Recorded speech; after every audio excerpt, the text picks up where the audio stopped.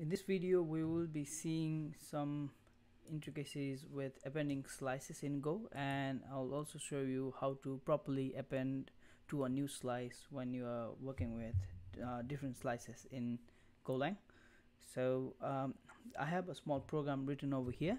Um, the program is, is simple.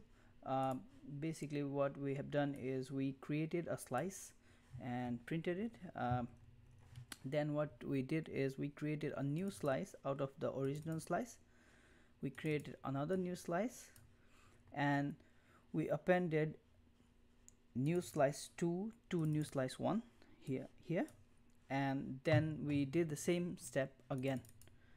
And in in between we have printed uh, like we have printed the uh, content of the slice a um, bunch of times. So so let's go over the code and see uh, let's try to figure out what would be the expected output before we run it. So so uh, we have a slice over here and and I print it. Like if I print it the expected output should be something like this right? Uh, let's ignore ignore the uh, the string uh, formatting over here. I just um, we are just concerned about these things. So the expected output would be 0 1 2 3 right? This is the slice and the array of the slice. Now when I create a new slice uh, I say okay for this new slice we only want the items from beginning of the slice to 1 but not including 1 which is 0 so we should be seeing something like this right? And then we again create a second slice and here we say we want all the items from second till the end of the slice which is 2 and 3 and we should be seeing something like this. Uh, okay everything looks fine till now right? And and now what we do is in new slice 1 we append the output of new slice 2 so what we're doing is in this slice we append this so expected output should look look something like 0 2 3 right? Yeah. And and we print the original slice. Since we have not done any operations on the original slice uh, it should look it should be the same 0 1 2 3 we again do the same operations on on by appending new slice. Now the value new value of new slice 1 is 0 2 3 right now we again append slice 2 new slice 2 to this. So expected output should look something like 0 2 3 2 3 and we again try to print, print the original slice which is 0 1 2 3 uh, so this is the order of output that we should be seeing. Uh, let's try to run the program and see if our expectation matches the output in the terminal. Okay immediately uh, we can see uh, the first output is what we expected 0 1 2 3 let me put it here. 0 1 2 3 second is 0 which is same. Third is 2 and 3 which is also same. And fourth is 0 2 3 0 2 3 okay well, we, we are good till now. And we again print the original slice. Here we expect 0 1 2 3 but look at here. We have a different output 0 2 3 3 which is weird right? Which is weird because we haven't done any operations on on 0 2 3 sorry operation on original slice which is this slice. Let's go further. Uh, now again the output we should be seeing is 0 2 3 2 3 but we again see different output 0 2 3 3 3 3 okay and we print the original out slice again. It is 0 2 3 and 3 3 now we can see our expected output is the terminal from the output is way off our expected output. So what actually happened here? We wrote the program correctly right? Logically we are correct but but something something is messing up our slices. So turns out slices in go are not same as slices in other programming language like python. Assigning a slice to another makes another slice makes a shallow copy of the slice and and we should be really careful when when we are dealing with multiple slices and appending or, or reslicing or appending values to another slice uh, so wh why is why why is this the case? Uh, let me like why, why did this happen? Let me try to explain it through the diagram. Uh, okay. So as you can see here as you can see here we uh, I'll, I'll for now uh, let's not let's not get worried about this okay. So oh, let's remove this.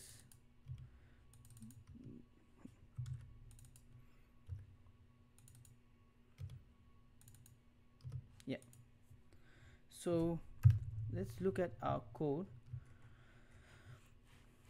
and see. So when we declare a slice what actually happens is it does not actually stores any any any values. So it is not when you create a slice it's not actually storing any data but instead it is a descriptor of the underlying array. And like we could uh, like this slice that we created we could also call it slice header or slice variable. So basically slice variable is a data structure that contains contains the uh, contains like different attributes which describes the continuous section of the underlying array. Um, some of them like I like here like it, it it could be represented like this. So a slice slice would contain a length uh, a total capacity of the slice and and the pointer pointing to the starting value of the underlying array. So when we created a slice like this uh, 0 1 2 3 what actually happened is it created a slice variable which has the length uh, sorry which has the length of 4 and capacity of 4 because by default um, it automatically assigns the length and capacity based on the items. So and the array it points to a part in a memory location like any it could be anything and and the value are added there so basically this slice doesn't hold any actual values but rather holds a reference to the actual memory location where where the values are stored. So okay we are good. We created a slice. It point like it it points to the underlying array. Now what we have what happened is we when we create a new slice what we do is uh, we we said okay uh, we only uh, I only want the first first element of the array to one in this slice. So what this does this section does is it creates a new slice similar to this uh, creates a new slice variable. Now since we have only one element uh, the length would be 1 capacity is still 4 capacity is still 4 and the array points to the zeroth element because we started from 0 uh, the first element is is 0 so it points here. Sorry. It points to the first element of the underlying array. Let me make it much easier. Okay. Uh, yeah. Uh, so this is this is our underlying array everything is good till now right? Now we create another slice right with the same same principle. Uh, what we do is we okay I already created it here. So we created another slice.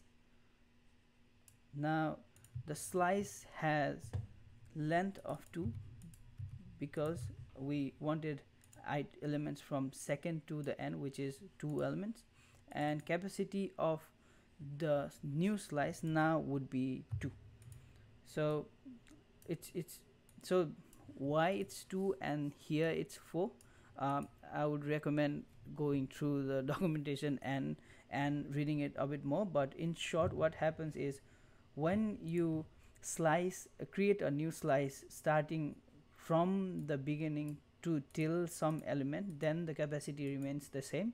But when you try to reslice or create a slice from from between some some element in the underlying array and till the end or till between then the capacity capacity changes. Now when we created a new slice same thing happens. Uh, this underlying array points to since we start from 2 to 3 uh, it points to second here. Oh, sorry. Okay let me send it in the back so it points to second element in the underlying array till the third. So it this like this so like points to the starting point of the continuous section for for new slice 2 of length 2 which is 2 and 3 okay. Now everything is good. Our slide we have our slice header created and and now when we try to append new slice 1 to sorry 2 to new slice 1 so when this was created uh, it had only 0 value. Like it, it was pointing to only one element which is 0 and this one new slice 2 was pointing to 2 comma 3 right? And original sl original slice was pointing to 0 comma 1 comma 2 comma 3 which is which is the under like all the element of the underlying array before the append.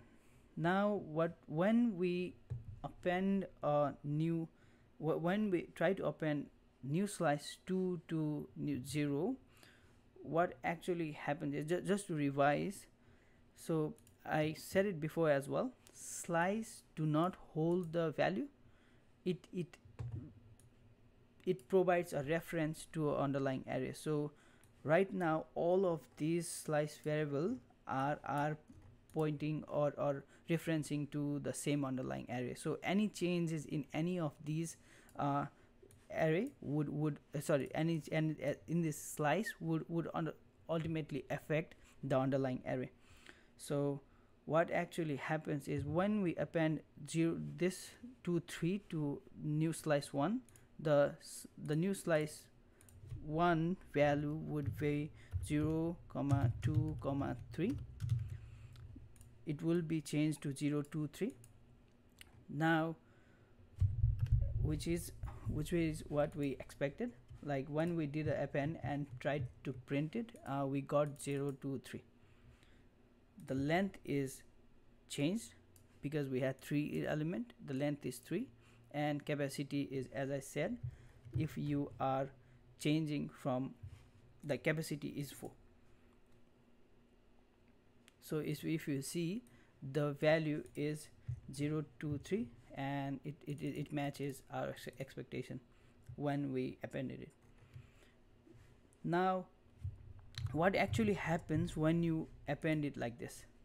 When you append like this now since as we discussed before as well when the slice changes and it is referencing to the original underlying array any change in this slice will affect the original underlying array as well. So it was pointing to 0 now we had added two more variables so two more values 2 and 3 appended it on top of it. So what actually happens is after the append operation the length of the array becomes 3 and capacity is 4 and this it overrides the underlying array to be 0 to 3 starting point of the array and 3 length continuous section. So it becomes 0 to 3 now for this array if we print it we should be seeing 0 to 3 which is 0 to 3 all good but what actually happened over here is for this slice and this slice the value of their underlying array has been changed. How it changed? Uh, let me explain. So for this slice it points to the starting point of the continuous section like section in the memory. So for this slice when it again reads the value of the underlying array instead of 0 1 2 3 which was previous now it finds the value to be 0 2 3 3 because it pointed to the starting point and and the length is 3 capacity is sorry 4 4 and it tries to go through the four like continuous four sections which is 0 2 3 3 now it has the underlying array for slice has changed. This is the reason why why we were why we saw the value of slice to be 0233 instead of 0123 even though we didn't do any operations on it. As I repeat again when you do a append operation or modify a slice then the underlying slice the underlying array referenced by the slice also changes. So we need to be very careful on it similarly for this new slice as well it held the reference to 2 and 3 but after the append operation the value is changed. Underlying value of the underlying array is changed to 3 3 now what if you print this slide new slice 2 instead of seeing 2 3 you will be seeing 3 comma 3 sorry 3 comma 3 so again now like if I try to print print uh, let me try to print it. Uh, print f copy paste it. New slice 2 and we print the thingy. New slice 2 new slice 2 2 new slice 1 yeah I made a typo over there. Okay. So if I print the new slice 2 again after this we haven't done any operation on new slice 2 we should be seeing here instead of 2 3 we should be seeing 3 3 so new slice 2 after this we did the append operation then the value of new slice 1 became 0 2 3 and the original slice was changed to 0 2 3 as we discussed before and we checked new slice 2 now the current value of new slice 2 is 3 3 so this holds to what we discussed here right? Then we again do the append operation. But let me show you side by side. If you see after the change after the change new slice 1 was had length 3 and capacity of 4 right? When we try to append append the append this this riff like when we try to append 3 3 to 0 2 3 what actually happens is now the underlying array would be 2 3 3 3 3 3 underlying array would be this but what actually happened is the capacity of this this slice is is is it went over the capacity of this slice. So in such case when the capacity of the slice goes over over the actual like current capacity um, it uh, sorry. Now the array points to a new location in the memory new location in the memory which is like this. It could be different 0x 352 blah blah blah blah so it points to a new location in the memory. 0x3 blah blah blah blah blah yeah let's remove it. In, like when we appended it the capacity went over. Now instead of overriding this what it does is it removes the reference from here. Uh, we'll mark it as maybe red right? Maybe uh, creates a reference to the different memory address and adds adds the value in of the underlying array there. So which would be 0 2 3 3 3 and when when we append it here the total length of the length of the slice became 5 0 2 and and the underlying capacity became how much? 8 which is which is shown here yeah. So now this doesn't actually reference here it doesn't actually reference here and the reference is pointing to the different memory address. So it's a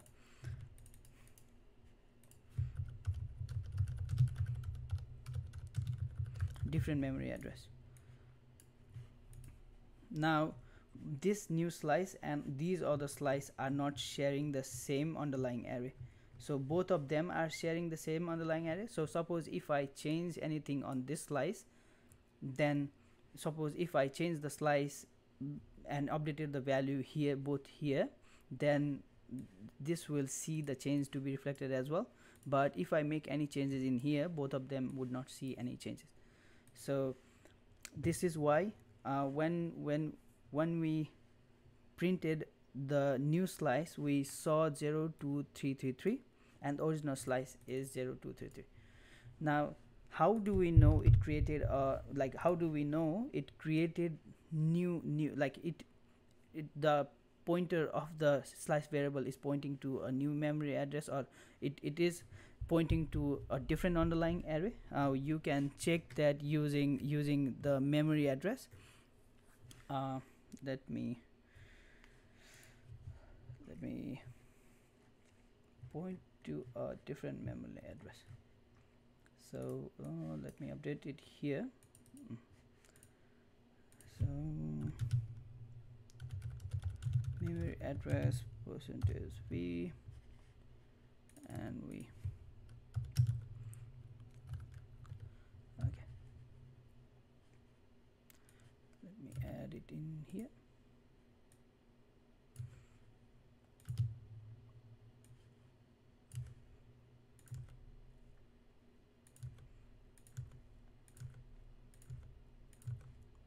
update it in here.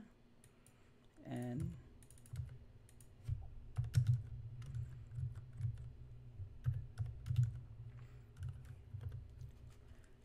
we want reference to the pointer. Okay. Comma it should be 2 should be the same. This should be this this should be this. And this should be here.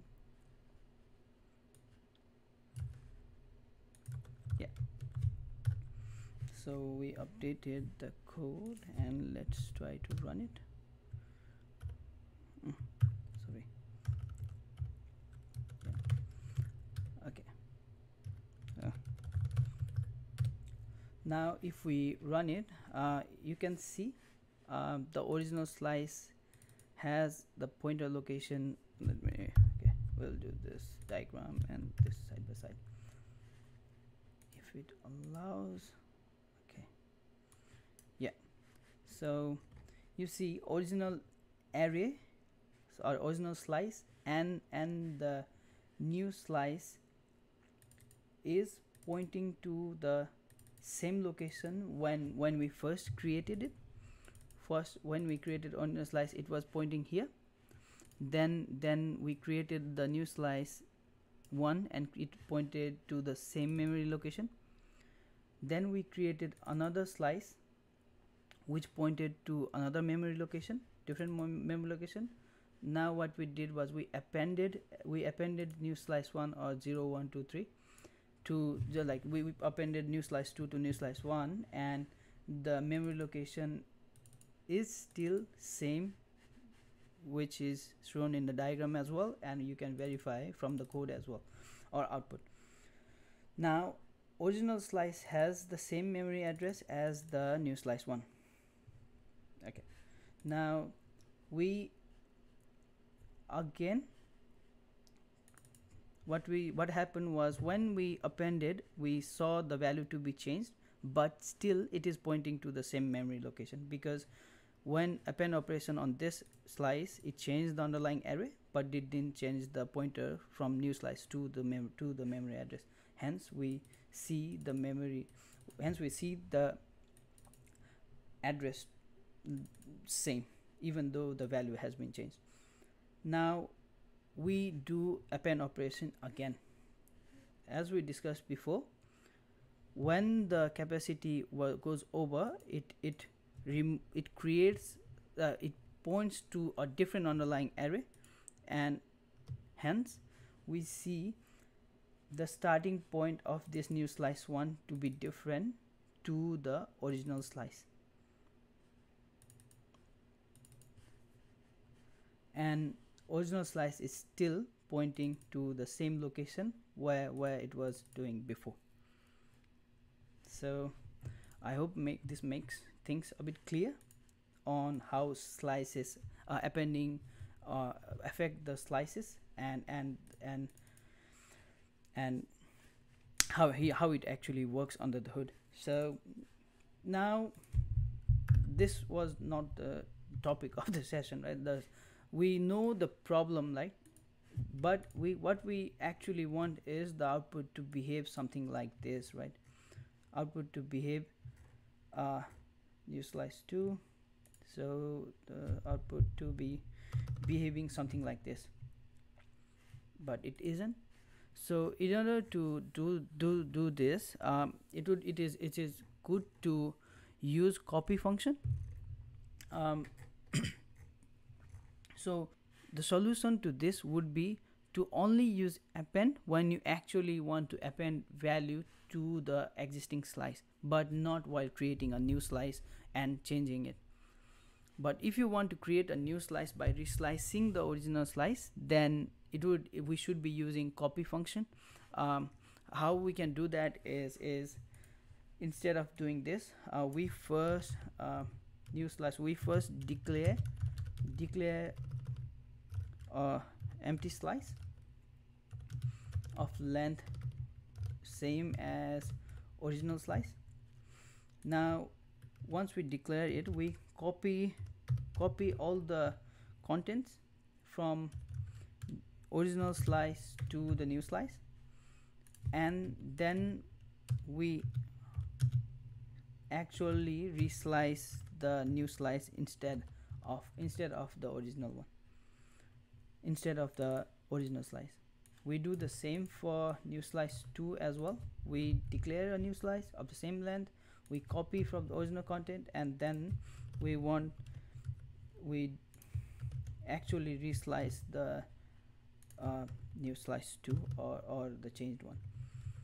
So when we run this we should be seeing output similar to what we expect